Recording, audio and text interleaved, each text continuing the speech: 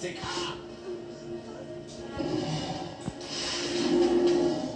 किसमें हिम्मत है जो शेर खान को रोक सके? एक दोस्त और एक माँ की ताकत।